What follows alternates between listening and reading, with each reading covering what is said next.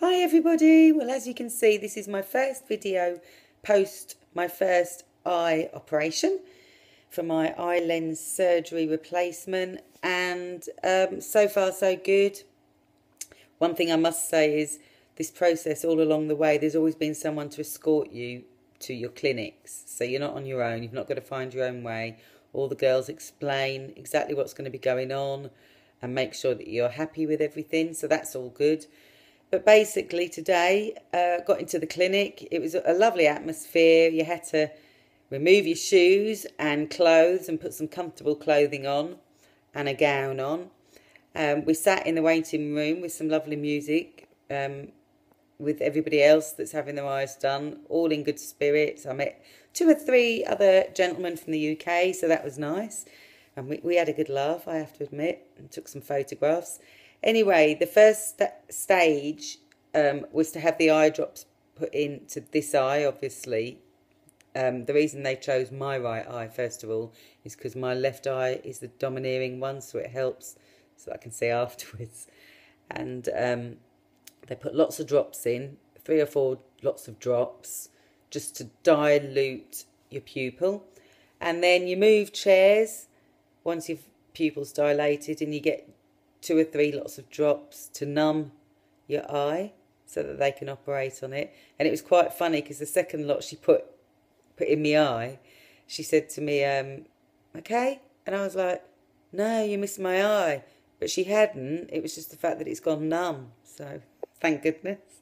and then after about the third lot of drops, you get taken through to um, surgery the surgeon was lovely, big handshake, pleased to meet you. You get in the chair, you get leant back, made comfortable, have a big towel put underneath your knees so that you feel nice and, and comfy. You get given a little mascot, so if you're feeling nervous, you can give him a good squeeze um, to relieve stress. Or oh, one thing I didn't mention was before any of that, they give you a little tablet just to relax you, although it didn't zonk me out or make me feel any different, but it's supposed to just help you to relax. Um, had the surgery. They cover all of your face up, all like this, here and here.